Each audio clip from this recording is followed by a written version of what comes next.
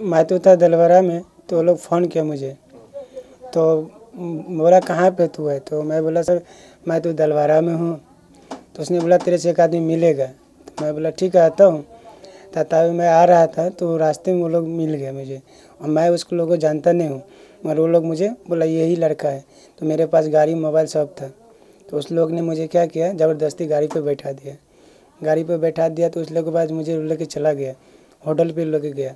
इतना भी पूछा, बात क्या है सर? बताइए। तो बोला, तेरे से एक आदमी मिलेगा फिर उसके बाद मिलने के बाद में उसने मुझे ऑफ़िस ले गया, एक ऑफ़िस था अंदर में, वहाँ पे ले गया। वहाँ पे ले गया, एक लड़का को, संजय नाम का लड़का था, उसको पकड़ के रखा था।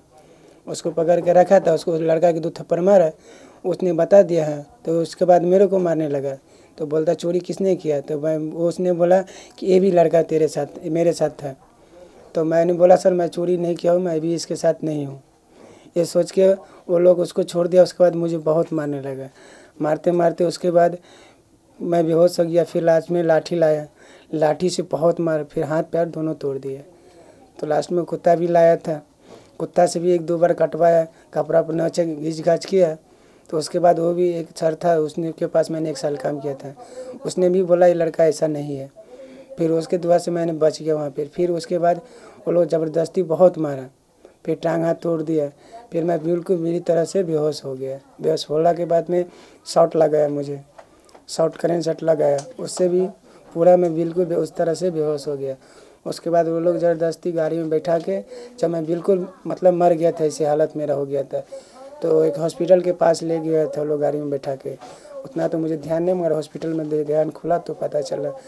फिर एक ठुमा ले गया तो वहाँ पर बोला पुलिस कैसे उसके बाद फिर एक हॉस्पिटल के लिए पास ले गया। उसके बाद वो भी ऐसा ही पूछा कि क्या हुआ है इसका? तो मैं बिल्कुल वहाँ से मर गया था, बिल्कुल। उसके बाद मार्बल हॉस्पिटल मुझे लेकर आया।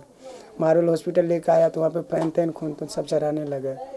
डॉक्टर सब देखभाल करने लगा मुझे मार्बल में। एक कौन सा बड़ा मशीन था, उसके अंदर डाला था। उसके बाद आधा एक घंटा बाद मुझे सांस है मैं तो होटल में चीफ प्रिंसिप बंगला में काम करता हूँ, वहाँ पे मैं दो साल से काम करता हूँ अभी। हम अपनी ओर से पूरी कोशिश कर रहे हैं कि जो आरोपी हैं उनको अरेस्ट किया जाए। और अभी एक व्यक्ति को हमने अरेस्ट किया है इसके अंदर बाकियों की तलाश जारी है और आगे की इन्वेस्टिगेशन अन्वेषण जो है चल रहा है। इसमें अभी तक हमने तीन सौ पच्चीस तीन सौ छब्बीस तीन सौ सात तीन सौ आठ धारा आईपीसी की ये लगाई है। अभी एक आरोपी पकड़ा गया है बाकी औरों की अभी तलाश जारी है। ये